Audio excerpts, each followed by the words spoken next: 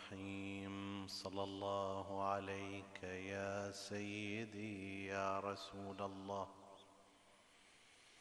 صلى الله عليك وعلى ابن عمك أمير المؤمنين وإمام المتقين. صلى الله عليك يا سيدي يا أبا عبد الله الحسين وعلى أهل بيتك الطاهرين.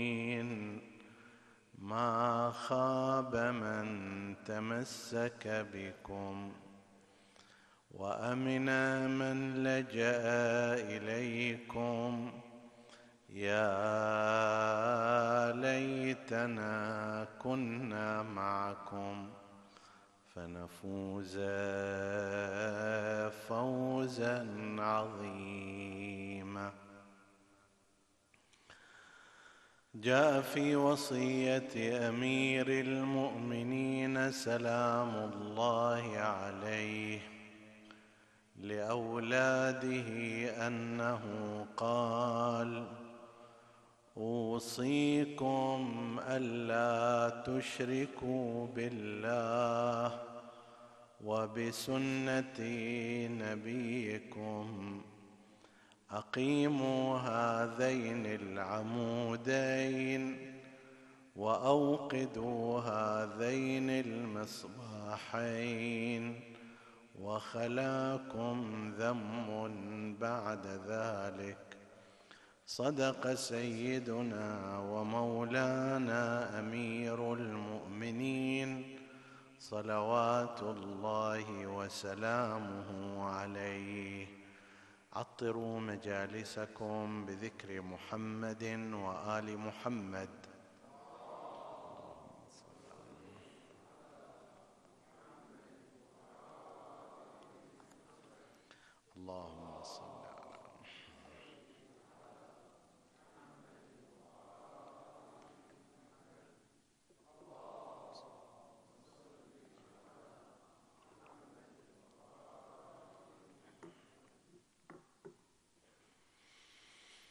حديثنا بإذن الله تعالى يتناول شيئا من ملاحظات الشيعة الإمامية على الصحيحين من مصادر مدرسة الخلفاء الحديثية. وقد سبق أن ذكرنا جانبا من الملاحظات التي قدمت على الصحيحين من داخل مدرسة الخلفاء وأشرنا إلى بعضها في ليلة مضت. أما حديثنا الآن فهو يتناول بعض ملاحظات الإمامية حول هذين الصحيحين. ملاحظة عامة تتناسب قيمة الكتاب وتأثيره في الناس تناسبا طرديا مع توجه الملاحظات والتقييم إليه. فإذا كان الكتاب لا قيمة له ولا أحد يلتفت إليه ولا يؤثر في شيء ربما يأتي هذا الكتاب ويبقى عشرات أو مئات السنين من دون أن يتوجه إليه أحد بل ربما لا يتعرف عليه أحد. أما إذا كان الكتاب مؤثرا في جهة من الجهات مشهورا مؤسسا لأفكار أو لعقائد أو لطريقة حياة أو غير ذلك فإنه في الغالب بمقدار ما يكون مشهورا ومنتشرا ومؤثرا قد تتوجه إليه الملاحظات والانتقادات من قبل أطراف مختلفة. وهذا الأمر يصدق على كتابي الصحيحين صحيح البخاري وصحيح مسلم.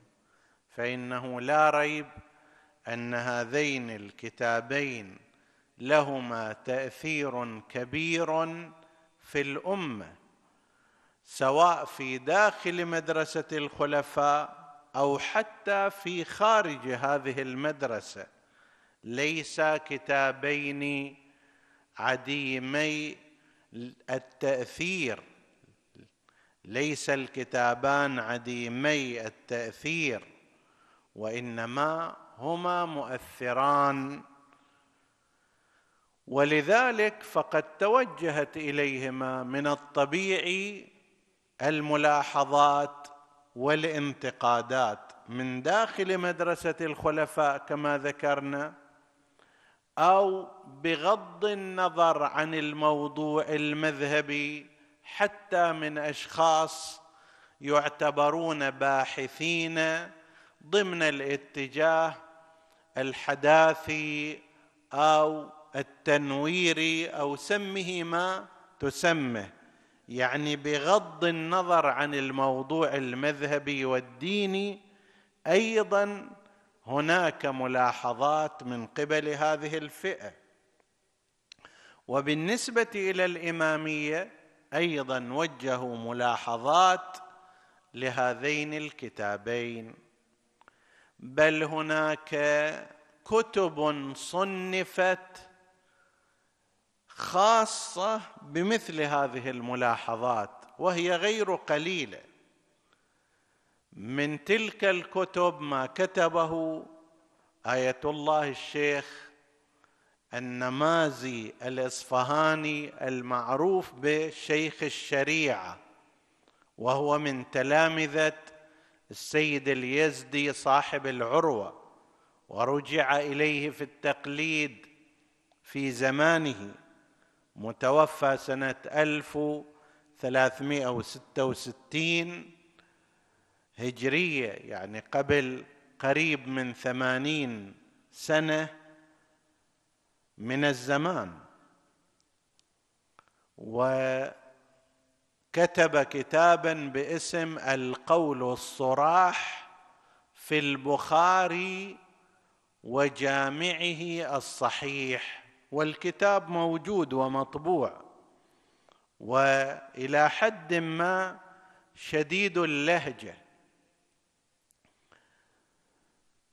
من الكتب التي اختصت أيضا بهذا الجانب ما كتبه آية الله الشيخ محمد حسن المظفر رضوان الله تعالى عليه أستاذ الشيخ محمد رضا أخيه الأصغر. شيخ محمد رضا ربما يكون معروفا أكثر باعتبار تدرس بعض كتبه في الحوزات العلمية وكان مؤسسا لكلية الفقه وله برامج كثيرة مطبوعة فألف كتابا سماه الإفصاح عن أحوال رواة الصحاح. ذكر في هذا الكتاب في طبعاته الأخيرة ألف وستمائه خمسين راوي من الرواة الذين نقل عنهم في الصحاح ألف وستمائة وخمسين مع أنه نص على تضعيفهم في كتب مدرسة الخلفاء نفسها.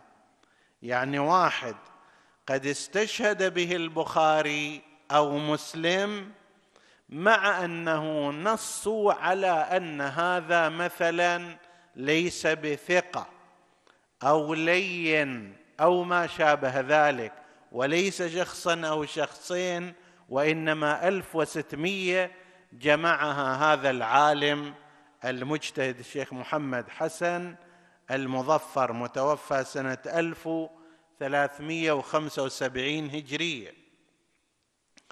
بعده أيضا السيد هاشم معروف الحسني من علماء لبنان هذا توفي قريب يعني 1403 هجرية وهو مكثر من الكتابه النقدية. لديه كتاب باسم دراسات في الحديث والمحدثين وربما طبع باسم دراسات في البخاري والكافي يعني عند معالجة ودراسة لكلا الكتابين. أيضا من الكتب لمعاصرين مثل كتاب آية الله الشيخ السبحاني شيخ جعفر السبحاني من علماء قم الحوزة العلمية عنده كتاب اسمه الحديث النبوي بين الدراية والرواية. أيضا تعرض فيه إلى ما يوجه من ملاحظات إلى كتب الصحاح. من ذلك كتاب آخر لتلميذ العلامة الأميني شيخ محمد صادق النجمي. شيخ محمد صادق النجمي كثير تأثر بمنهج الشيخ الأميني وأخذ عنه والشيخ الأميني عندك في داخل الغدير عند دراسة حول الوضع وضع الأحاديث وأسماء وضاعي الحديث وأشار إلى وجود بعض تلك الأسماء في كتب الصحاح. أحد تلامذته ألف كتابا جيدا اسمه أضواء على الصحيحين وهو الشيخ محمد صادق النجمي. أصله باللغة الفارسية ترجم إلى اللغة العربية على يد السيد حسن القزويني على ما ببالي. وهو كتاب متوفر ومطبوع بعدة طبعات. وهكذا الشيخ حسين الهرساوي أيضا عنده كتاب باسم البخاري وصحيحه. هذه دراسات مستقلة عن كتب الصحاح إما عن الكتابين معا البخاري ومسلم وإما عن أحدهما وغالبا ما يكون عن البخاري باعتبار أنه هو الأبرز والأشهر والأقوى غالبا عند العلماء. إضافة إلى آخرين ممن كتبوا أيضا إما دراسات مختصرة أو ألقوا محاضرات سيد الميلاني وغير هؤلاء لا نستطيع أن نتتبع كل الأسماء ولكن إشارة إلى هذا لعل بعضا يريد الرجوع التفصيلي. تعددت الملاحظات التي وجهها الإمامية لكتابي الصحيحين. نحن نقسمها إلى القسمين المعهودين. قسم اولا ما يرتبط بالأسانيد وقسم يرتبط بالمتون. فيما يرتبط بالأسانيد ملاحظة عامة نحن نجدها في كل هذه الدراسات والكتب التي قيلت وهي أن كيفية جمع الأحاديث في البخاري ليست في رأي الإمامية طريقة علمية أو منصفة. ليش؟ لما قاله شمس الدين الذهبي. شمس الدين الذهبي وهو من أعلام مدرسة الخلفاء مهم جدا ومؤلف مكثر حتى قيل إنه ألف قريب من ثلاثمائة عنوان. بعضها وإن كان اختصارا لكتب آخرين ولكن الرجل يعد من كبار علماء تلك المدرسة. معاصر للعلامة الحلي رضوان الله تعالى عليه متوفى أي الذهبي في سنة 748 هجرية بعد العلامة الحلي بحوالي عشرين سنة. هذا يقول بهذا النص قال إن البخاري تجنب الرافضة كثيرا. الرافضة في مصطلحهم غير الشيعة. الشيعي عندهم في كتب الرجال من أتباع مدرسة الخلفاء هو من يميل لعلي وربما فضله على الخليفة الثالث. هذا يقال له شيعي. وأما الرافضي فهو من يفضله على الخليفة الأول والثاني. هذا رافضي على طول. ليس شيعيا عندهم وإنما رافضة. شيعي بس إذا كان يميل إليه ويفضله على الخليفة الثالث. يقول إن البخاري يعني الإمامية الشيعة الإمامية الذين يعتقدون وهم كل الشيعة الآن الإمامية الذين يعتقدون أن أفضل الخلق بعد رسول الله هو أمير المؤمنين عليه السلام في تعريف الذهب وسائر كتب الرجال كلهم روافض يعتبرون. قال إن البخاري تجنب الرافضة كثيرا. ليش؟ طبعا هذا مو في صدد ذم البخاري لا هذا تسجيل لواقعه كأنه يخاف من تدينهم بالتقية. هذول أهل تقية ممكن يكذبون ممكن ما يقولون الحقيقة. ولا نراه يتجنب النواصب. قلت لك هذا ما قاعد يذم البخاري قاعد يسجل حقيقة لأنه يعتقد في البخاري اعتقادا كبيرا جدا. ولا نراه يتجنب النواصب ولا القدرية ولا الخوارج ولا الجهمية فإنهم على بدعهم يلزمون الصدق.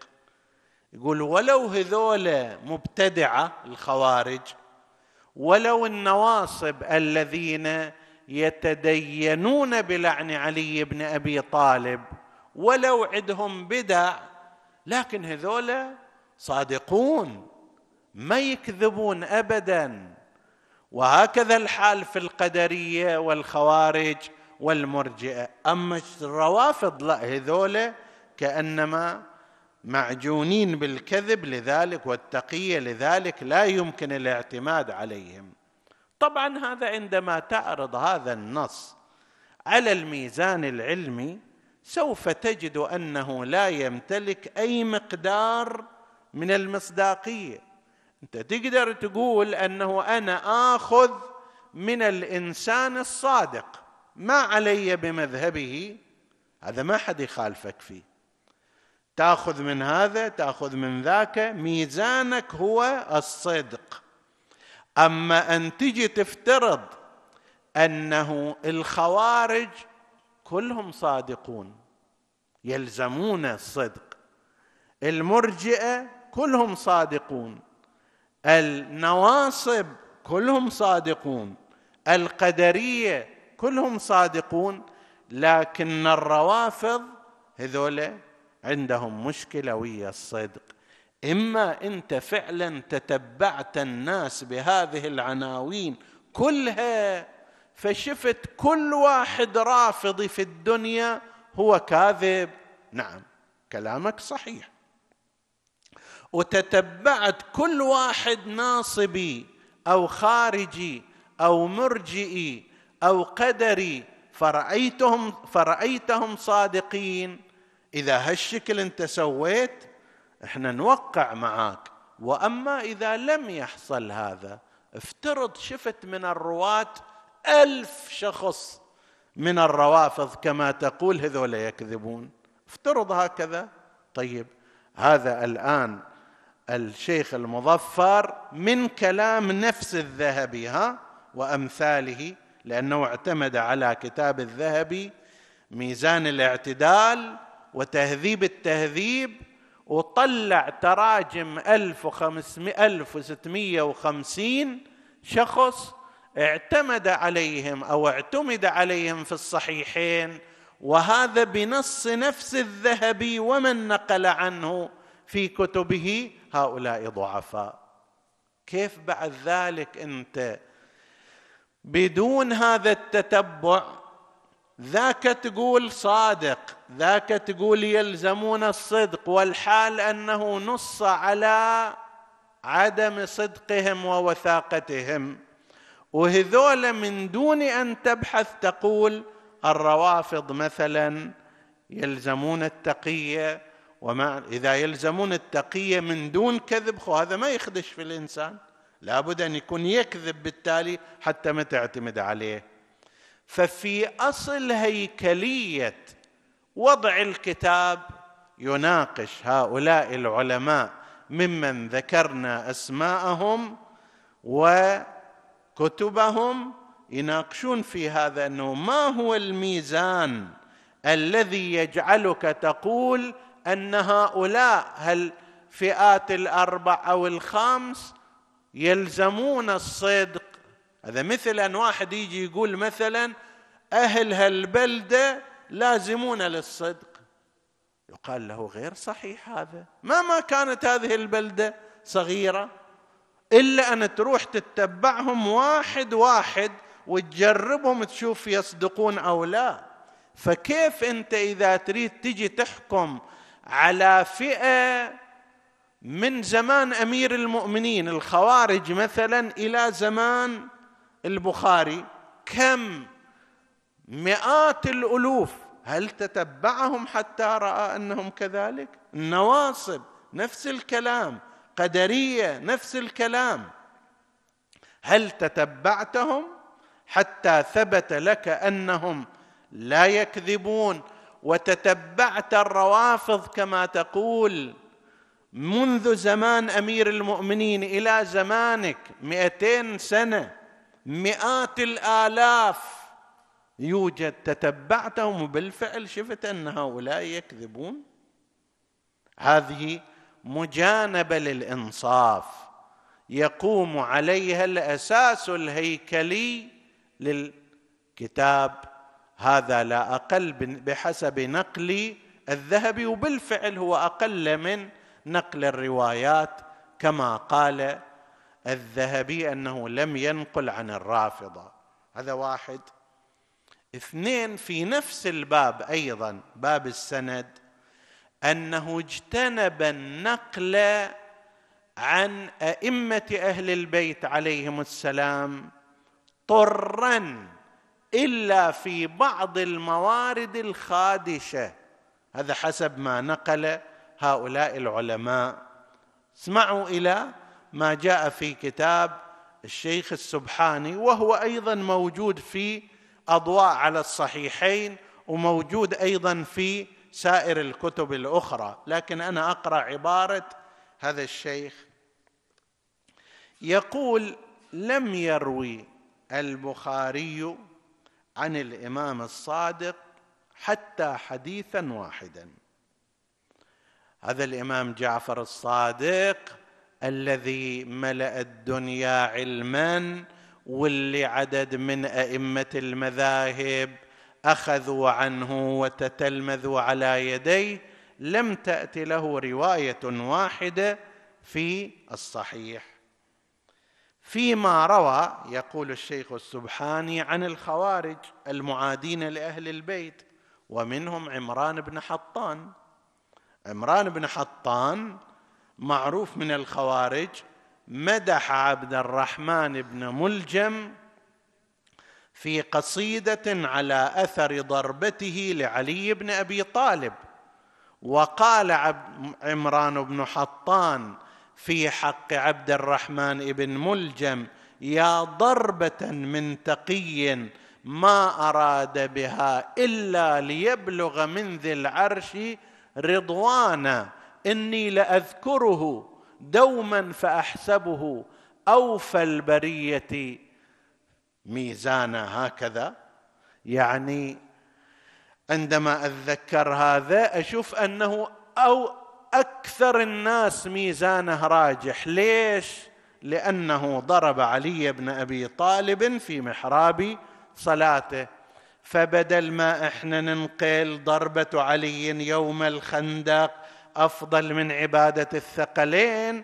لازم ننقل أن ضربة عبد الرحمن ابن ملجم هكذا هي تجعله أثقل الناس ميزانا يوم القيامة. هذا كلام عمران بن حطان وقد روي عنه في الصحيح بينما تركت الرواية عن جعفر بن محمد الصادق. هل هذا يتناسب مع الإنصاف. وأيضا روي عن مروان بن الحكم مروان بن الحكم فيما روي عن زوجة رسول الله صلى الله عليه وآله عائشة أنها قالت إني لأشهد أن رسول الله قد لعنك وأنت في صلب أبيك. زين وفي مكان آخر إنما أنت فضض من لعنة رسول الله. زين هذا ينقل عنه في الصحيح بينما تترك الرواية عن الإمام الصادق عليه السلام. هذا أمر جدا في غاية الغرابة وما يفيد بعض الدفاع الذي قال به متأخرون عن هذا الأمر. الأمر مسجل لذلك انبرى بعض الجماعة للدفاع عنه. بعضهم قال اي لأن جعفر بن محمد مو محدث وإنما هو فقيه. وهذا البخاري إنما ينقل عن محدثين. عجيب.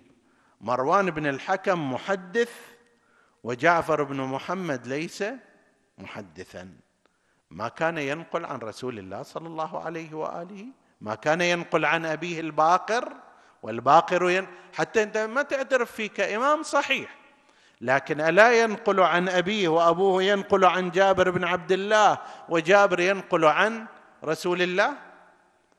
ما كان في كل ما أثر عن الإمام الصادق عليه السلام آلاف الأحاديث. ما في ولا حديث واحد منقول عن رسول الله يستحق أن ينقل. هذا أمر مثير للاستغراب. يقول أيضا بل إن البخاري خرج عن رواة رووا عن الصادق.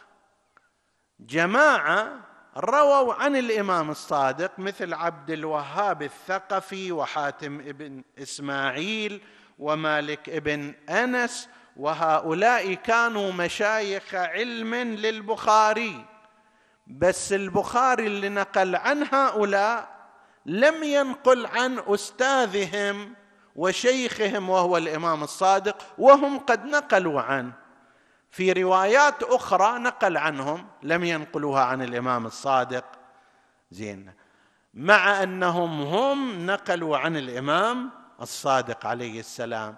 ويزيد الطين بلة ما قاله في كلامه الآخر.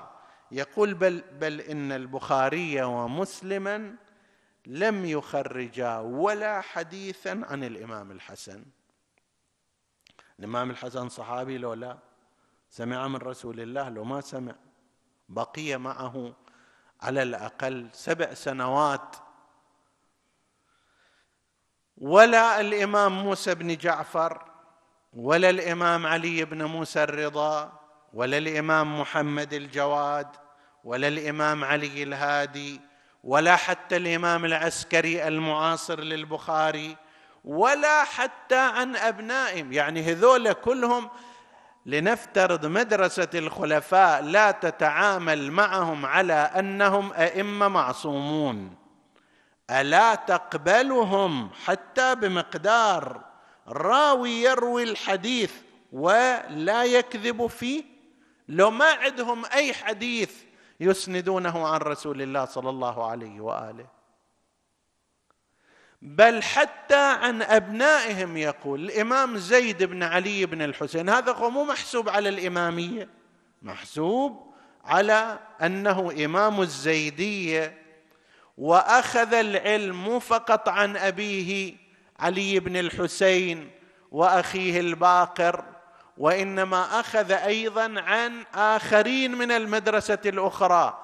ولذلك يرى ترى مدرسة الخلفاء أن أقرب الشيعة إليهم هم أتباع زيد. طيب زين هذا كان من أعلام الفقه.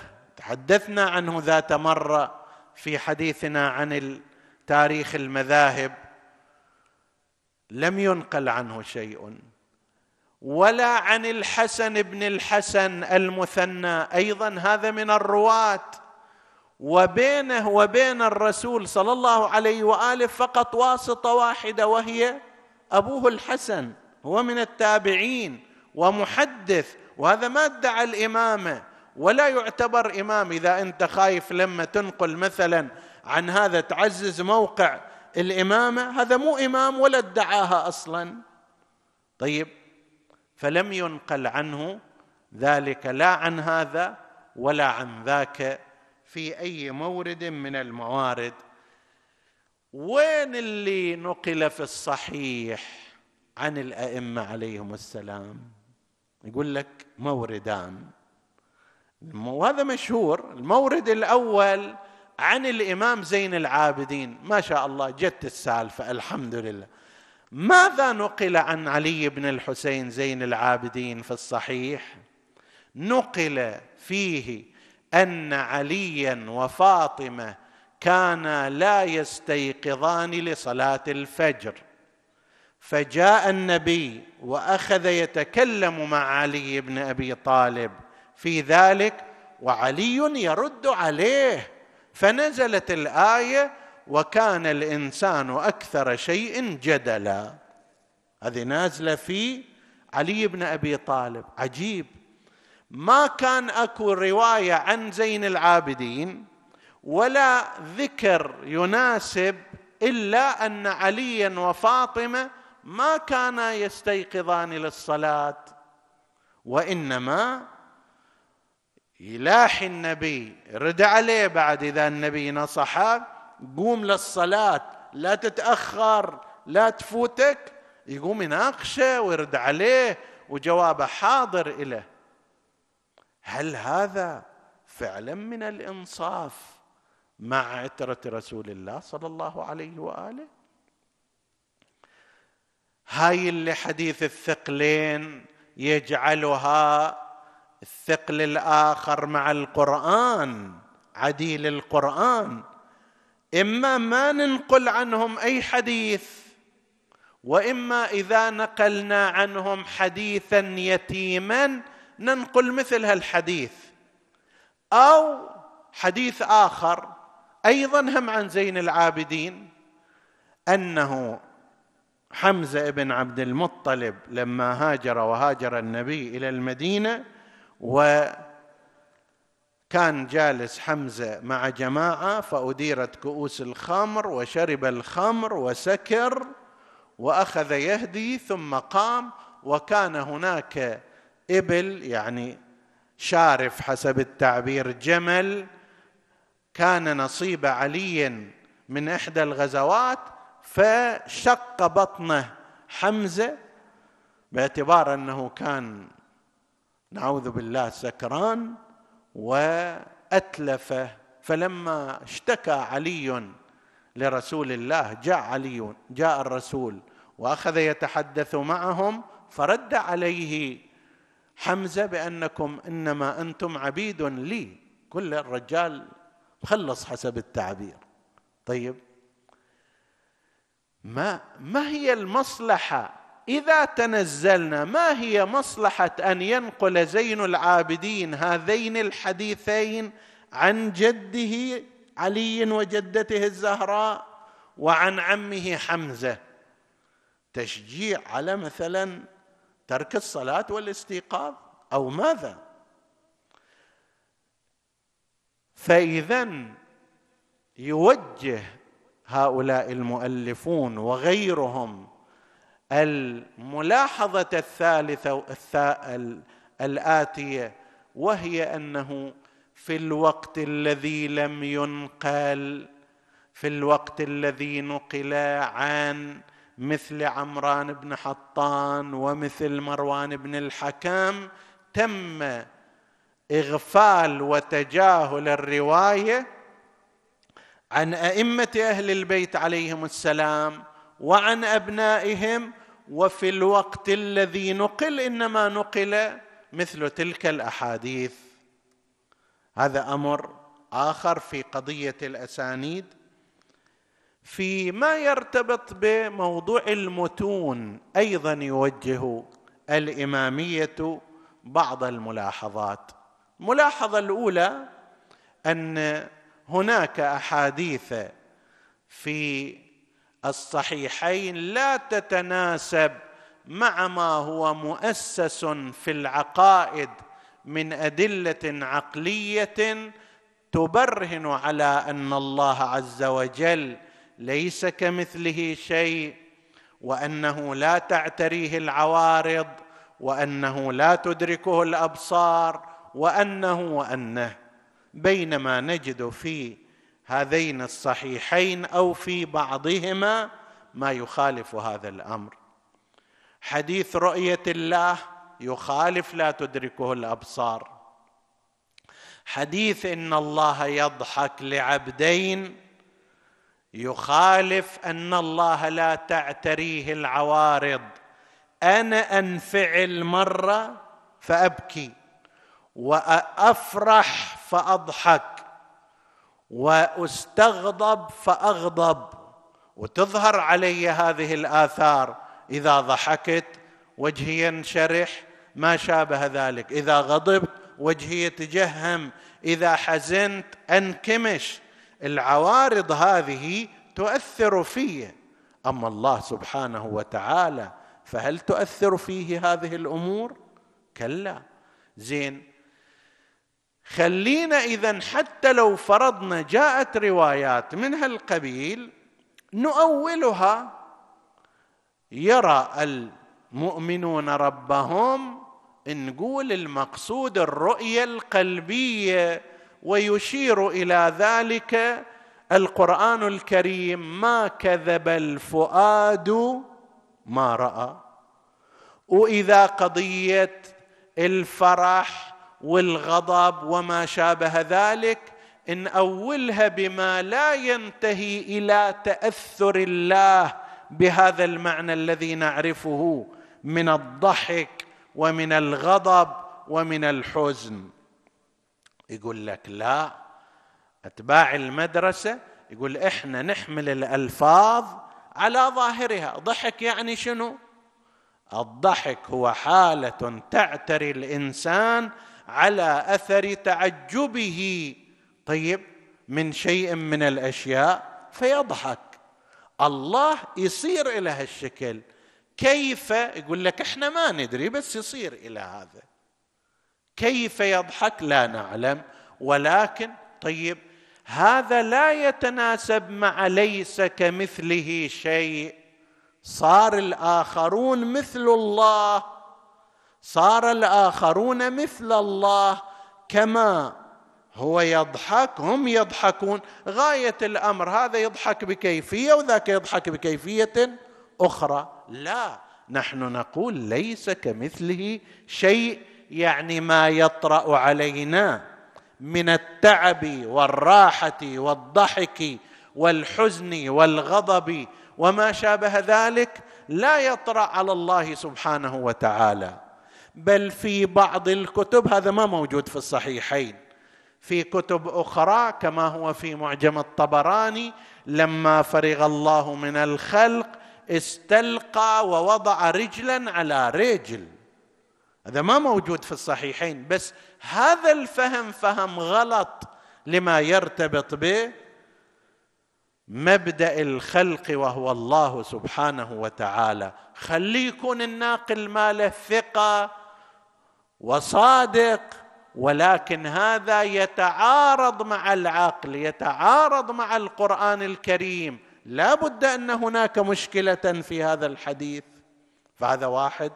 الإمامية يقولون هذا بالنسبة إلى قسم من الروايات أنها تعارض تنزيه الله وتنتهي إلى التجسيم وتنتهي إلى التشبيه فلا يمكن أن تكون مقبولة.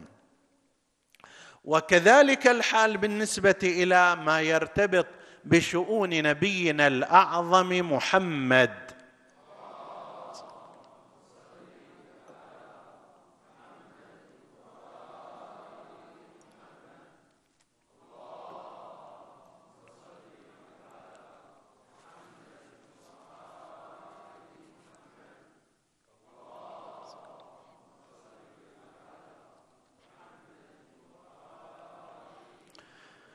مثل ما ورد من أنه مثلا النبي في أول البعثة ما كان يدري أنه نبي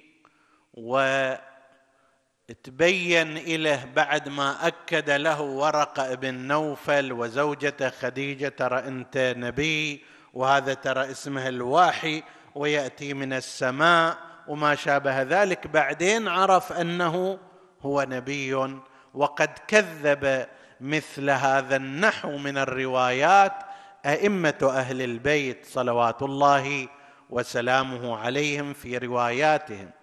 وهكذا أحاديث اللي ترتبط بشخصيته المعظمة المكرمة لا تتناسب مع هذا التعظيم والتكريم الذي أكرمه الله به في كتابه وجعله خير خلقه. فيعترضون عليها الإمامية أيضا. من ذلك ما يرتبط باغفال ذكر فضائل ومناقب أهل البيت عليهم السلام والأحاديث المهمة المشهورة كحديث الثقلين مثلا وحديث المنزلة وحديث أنا مدينة العلم وأمثال ذلك. المشكلة هنا أن قسما من أتباع المدرسة فيما بعد إجوا قالوا الدليل على أن هذه الأحاديث ضعيفة أنها لم تذكر في كتابي الصحيحين. زين إذا كان هناك تعمد لإغفالها يعني صاحب الكتاب يعلم بوجودها ومع ذلك تركها. فأنت تقدر تستدل. ذاك الوقت نجي إلى المسألة الأولى. كيف يمكن لمحدث محيط بهذا المقدار وعارف بالأحاديث مع وجود هذا المقدار من الأسانيد المعتبرة؟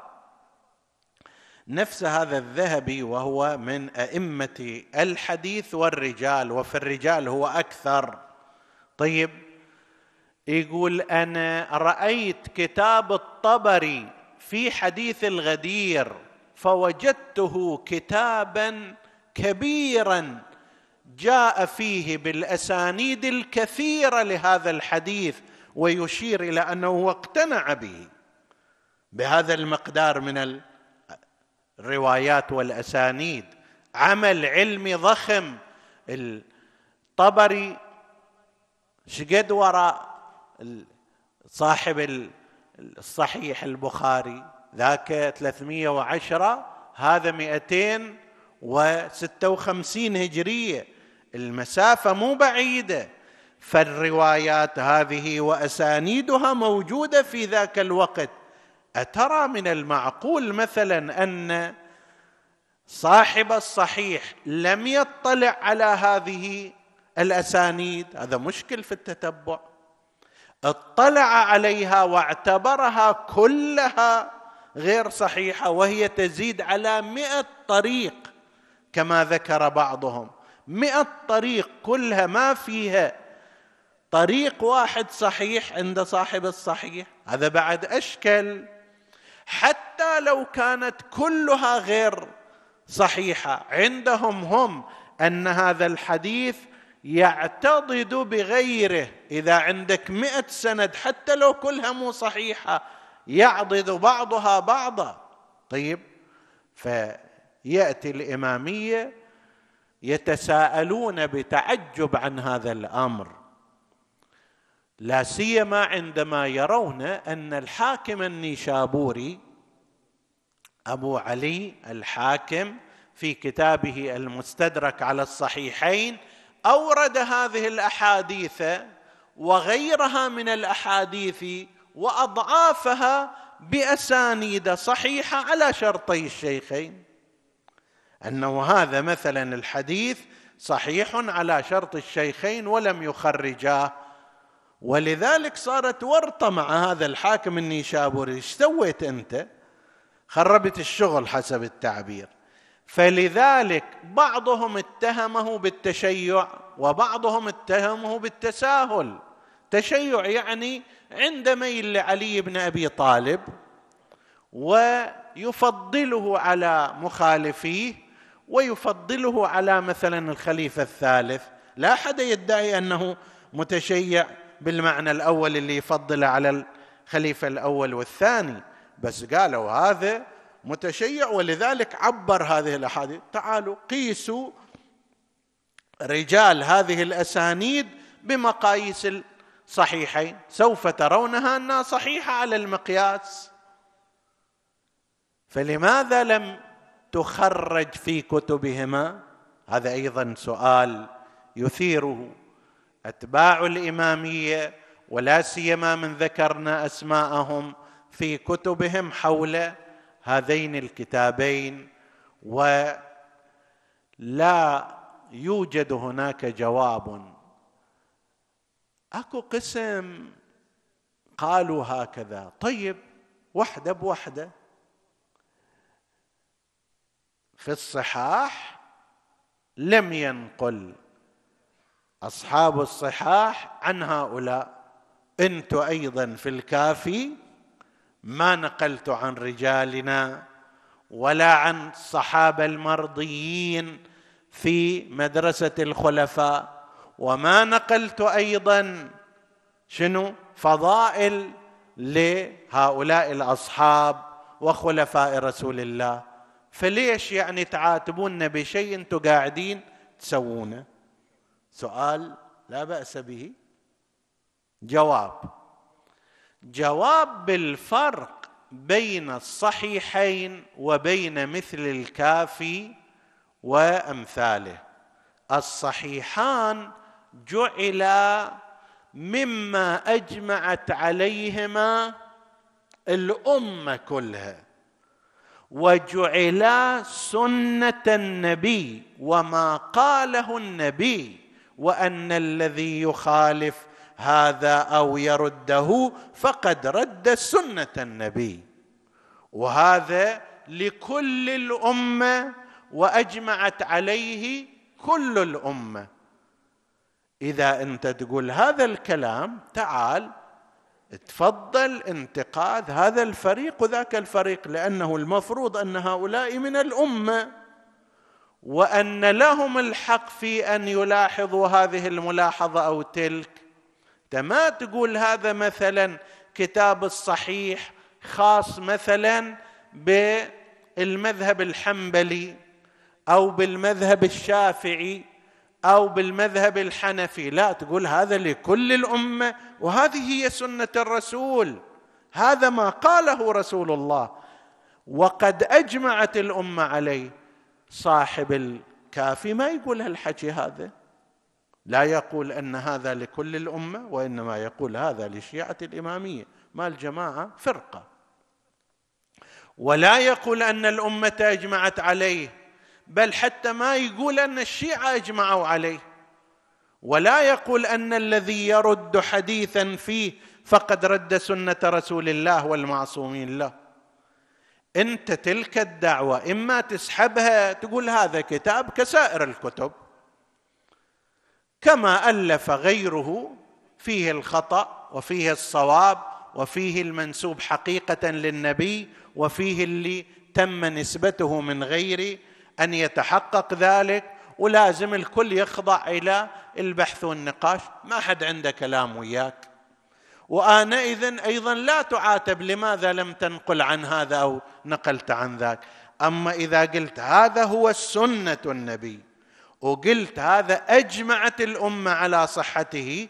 هنا يصير وقت كلام ونقاش وأخذ ورد. في مثل الحالة الشيعية لم يدعي احد أحد هذه الدعوة. هذا الكتاب الكافي هو للشيعة مو لغيرهم. ثانيا هذا لا يدعي أحد أن الأمة أجمعت على صحته. بل ولا كل الطائفة. المؤلف يقول أنا هذا عندي صحيح. ما صح بيني وبين الله. أنت تقلدني تلتزم فيه. ما تقلدني روح شوف لك. آخر يقلدني. حتى لو يقول هذا بس ثلثه صحيح. أنا مو مالي شغل في هذا. فالفرق في المسألتين موجود. نعم الإمامية يتساءلون لماذا لم يتم إنصاف أئمة الهدى عليهم السلام؟ وهم في رأي الإمامية عدل القرآن وفي رأي غيرهم المفروض أقل شيء انهم علماء ومحدثون ثقات هذا أقل شيء. فكيف حتى بهالمقدار لم يعاملوا معاملة عمران بن حطان ولم يعاملوا معاملة مروان بن الحكم. هسه لا الأئمة ولا ابنائهم أيضا تقول الامام حتى لا مثلا يصير إلى الصيت ويصير كأنما إحنا ندعم إمامته وإحنا ما نعترف بإمامته. ابنائهم لم يروا عنهم. هذا الحسن المثنى ذكرنا اسمه في الأثناء. حسن المثنى يلقب بالمثنى باعتبار حتى لا يختلط بأبيه ولا يختلط أيضا بابنه ابنه الحسن المثلث الحسن بن الحسن بن الحسن. وهو المثنى. هذا كان يفترض أن يكون من شهداء كربلاء ولكنه فقط جرح وقطعت يده وأغمي عليه وفيما بعد أخذ اسيرا تزوج ابنة الإمام الحسين عليه السلام فاطمة وعليها السلام فاطمة بنت الحسين. وكان النسل الحسني منه ومنها أحد. خطوط نسل نسل الإمام الحسن كان منه ومنها فإنه قاتل في كربلاء بين يدي الحسين وجرح جراحات بليغة وقطعت يد يده وأغمي عليه فصار في الجرحى ولكن لما صارت انتهت المعركة عرف أنه لا يزال على قيد الحياة فأخذ مع الأسرى. في الكوفة أحد أقاربه لأن أمه فزارية خولة بنت منظور الفزارية أمة و احد بني فزارة كان له وجاهة حسان ابن خارجة الفزاري كان مع الأمويين وإله وجاهة عندهم فتشفع فيه وطلبه من ابن زياد وعمر بن سعد فقال دعوا هذا لأسامة أو لأسماء. اسمه أسماء مو أسامة. وبالفعل أخذه وعالجه وعاش ونسل منه نسل الإمام الحسن المجتبى عليه السلام. فهو شارك في كربلاء ولكن لم يستشهد وكان عالما. كان من رواة الحديث مع ذلك لم ينقل عنه. هذا واحد من أبناء الإمام الحسن. عدة أشخاص كانوا في كربلاء من أبناء الإمام الحسن المجتبى عليه السلام ومنهم المعروف القاسم ابن الحسن المجتبى عليه السلام الذي كان أصغر من أخيه الحسن المثنى وقاتل بين يدي عمه الحسين سلام الله عليه على صغر سنه وعادة الإنسان لما يكون في ميعة الشباب وأوائل الحياة تعلقه بالعمر والدنيا واستمرار الحياة يكون أكبر لكن هذا عندما سأله الإمام الحسين عليه السلام أنه كيف يرى الموت؟